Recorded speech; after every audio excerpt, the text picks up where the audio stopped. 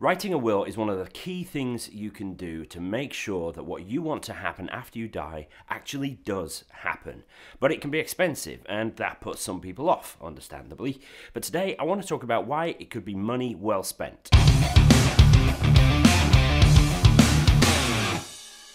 Hi, and welcome back to another 5 Minute Friday. Great to have you with me. So, I'm going to talk about why you should never, ever do a DIY will, in my not so humble opinion. So, let's put five minutes on the clock down here.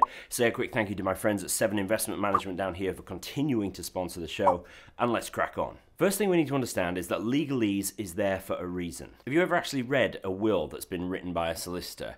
They're full of all kinds of strange phrases like residuary estate and held upon trust for and stuff like that. And it's easy for people to dismiss this as legalese, a sort of fancy language which is only there to help solicitors charge more for their work. But actually, this seemingly complex language serves a purpose. What this language does is it removes all doubt about what your intentions are for the will. It does that by calling on centuries of precedent wills that have been written like that, which have been tested in law in some way, and the definitions of those words have held up. So, in using those words, you know that they will work. Essentially, if you say this, it actually means this, and it can't really be questioned. And that's good because you're no longer around to ask what you actually meant when you said XYZ. So, clarity in the language is super important. Now, it's theoretical possible for you to just grab a piece of paper,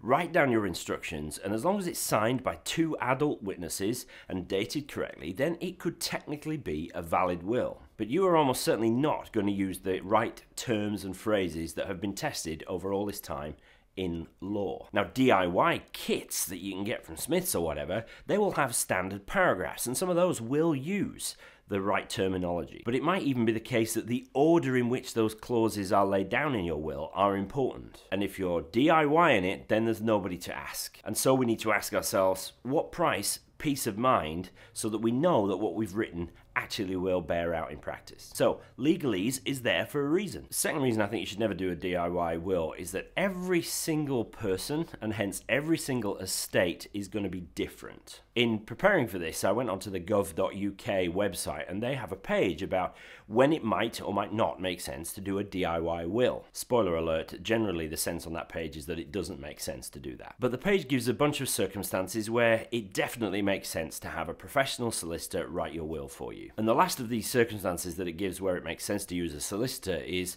that if there are any aspects of your will that might be misunderstood, or if your affairs are even slightly complex, that to me sounds like pretty much every estate. There's always going to be something which might potentially be misunderstood or misconstrued, and very few people have extremely simple estates and affairs. Most people think that their affairs are going to be dead easy. Ooh, little slip of the tongue there, dead easy. Did you catch that? Good job I make myself laugh, isn't it?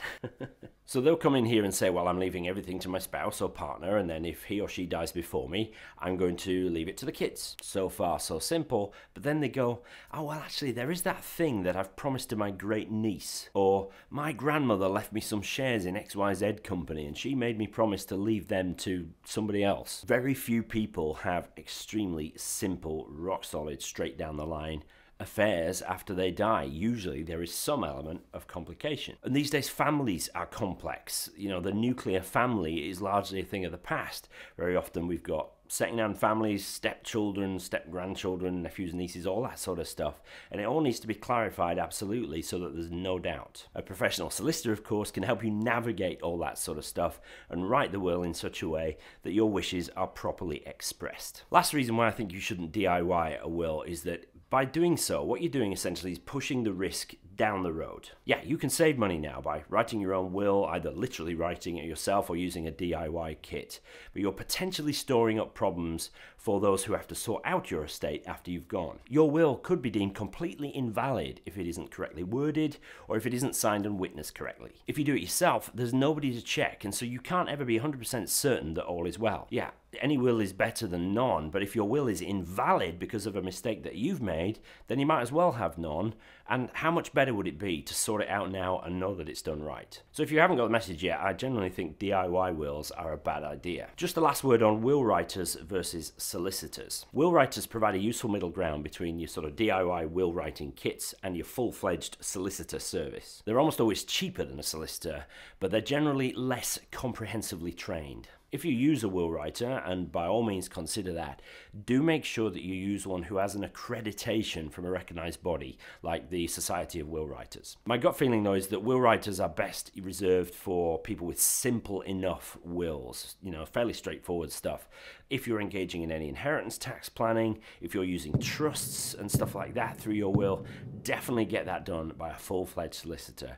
The law surrounding all that stuff is incredibly complex, and again, the last thing you want to do is to get it wrong. 20 years of doing my job, I've seen some horrendous wills, wills which would have made life extremely complex for those left behind after the testator had died. A well written will, apart from being a thing of beauty, bit of professional nerdism coming out there, actually is a massive help to the family at a time when, let's face it, they're going to be pretty upset and emotional about losing you. So, DIY wills, generally a bad idea. Use a will writer if it's simple, a solicitor if it's not, and go fill your boots. And then just get on with life, you know? We put off this stuff because it's no fun thinking about what happens after we die.